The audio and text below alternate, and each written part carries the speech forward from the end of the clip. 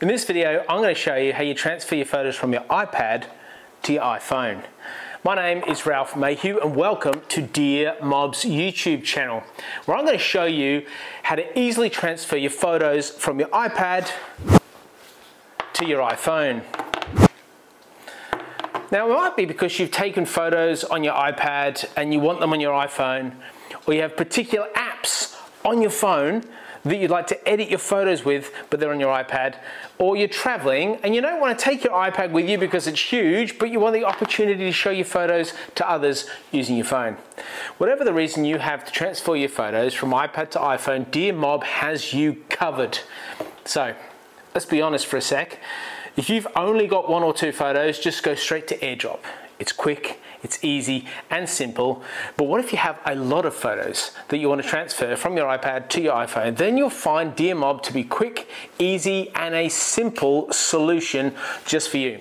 If this is helpful, please don't forget to subscribe and give us a thumbs up. It's really, really helpful. So first of all, open up the DearMob program, plug in your iPad and make sure both devices are set to trust each other.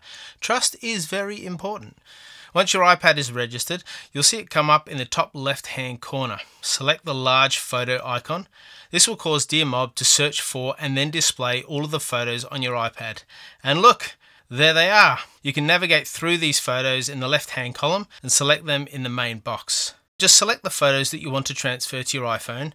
Now we're going to export them from the iPad onto the computer. As you can see, it's very quick. Now unplug your iPad and plug in your iPhone. You'll see your iPhone registered on the top left hand corner. Click on the large photo icon and DearMob will now load all of your photos and feature them by album in the left hand column window. Scroll to the bottom until you find this large plus sign. Press that and name your photo album. Let's call ours from iPad and we press enter.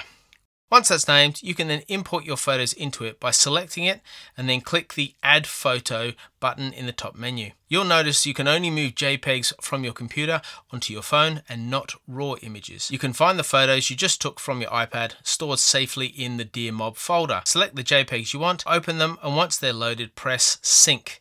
It's that easy to transfer your photos from your iPad to your iPhone. Here are those images newly imported into our albums just as they left the iPad without any loss of that precious quality that's really, really important.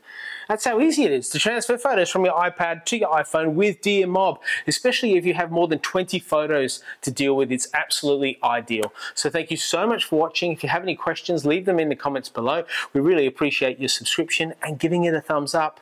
We'll see you in the next video. Bye.